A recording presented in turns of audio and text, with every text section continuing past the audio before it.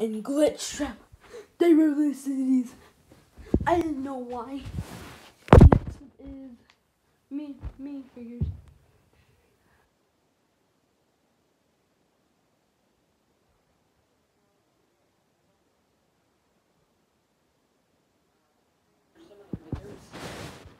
And they were, they were releasing these right now. Because they're to release these. And next up, there's to be a brand new.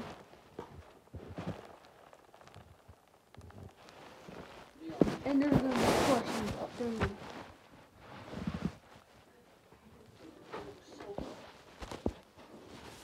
And look, these are real. Yes.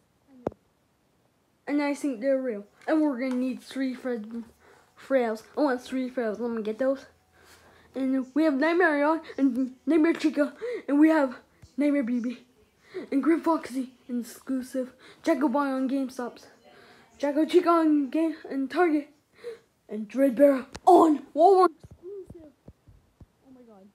Guys. We, we're gonna get these plushies. And comment on Froakie. Tell them on the comics. There's, there's gonna be brand new figures and mystery minis and pops and plushies. And comment all the YouTube YouTube guys. Tell them there's gonna be these guys. And they're they're gonna be brand new Funko Funko's gonna release. So bye